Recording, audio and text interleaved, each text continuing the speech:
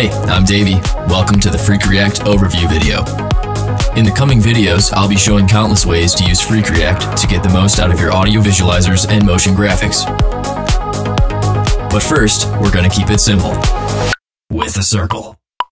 A circle may seem like a boring place to start, but there's actually a hidden world of reacting waiting for us. We could react the scale. We could react the position. Or maybe the stroke thickness, the color, and the opacity. There's so many options, and that's only while using two of the reactor types. So enough preamble, let's begin. This is our audio layer, and this is how it sounds. We'll start by selecting it and creating a profile. In this example, we'll be reacting to the kick drum, so let's name the profile kick. If we wanted to create a profile that was only the duration of our current work area, we would select work area.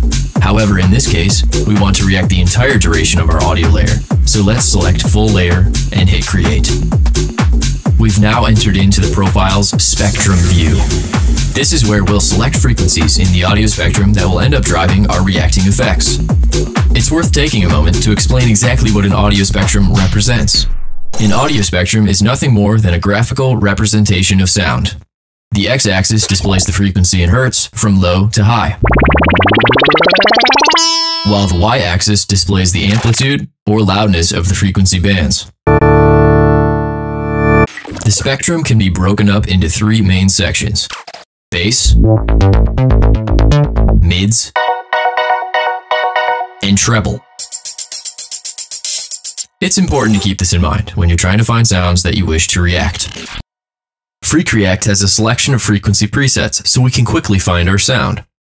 Let's change it back to bass, lower the frequency height, and hit play. Right away, it's very easy to see the bulk of the kick drum frequencies. Let's grab the range box and place it roughly over top.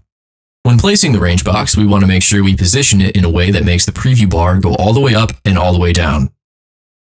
Certain reactors might not function properly if this bar isn't reaching the top. Most of the time, it's good to try to extend it as much as possible, but it can also be useful to squash it in certain situations.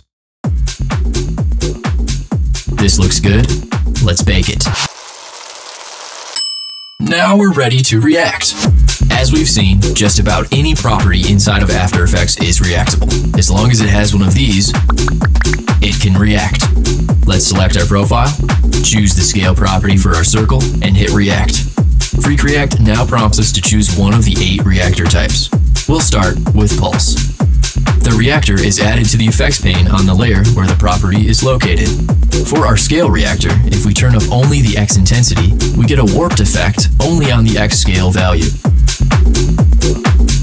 That's great, but we want it to be uniform, so let's match the X and Y intensities. Since we gave the intensity slider a positive value, it's adding to the original property value. If we give it a negative value, it will take away from the original value. Let's keep it positive. Alright, this is getting close to how we want, but I think we can spruce it up a bit with mods.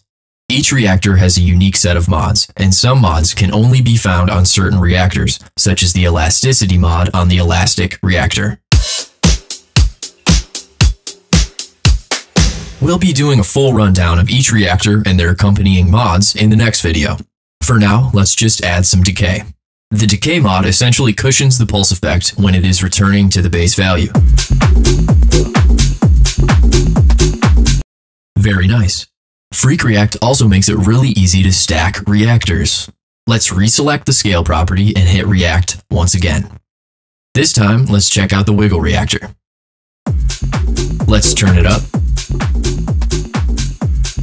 Go into the mods and crank the wiggle speed. So now we have a weird wiggly circle thing. This is kind of neat, but not exactly what we're going for, so let's delete this reactor.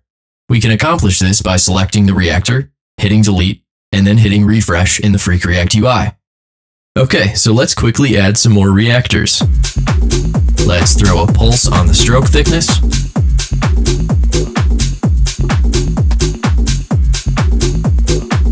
And you know, let's get a little fancy. Let's react the color of the circle. The steps color reactor is extra special. Each time the snare hits, it will step into a new color, and we can choose how many steps to cycle through. For instance, if we select four steps, we can see it cycle between the first four colors. Let's keep it at 2 and set the colors to the signature FreqReact green and purple.